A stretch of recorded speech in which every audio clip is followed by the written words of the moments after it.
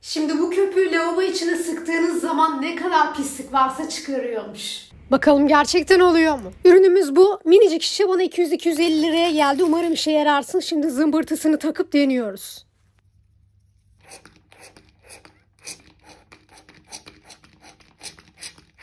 E kir falan gelmedi buradan. Biraz da şu yönde sıkacağım.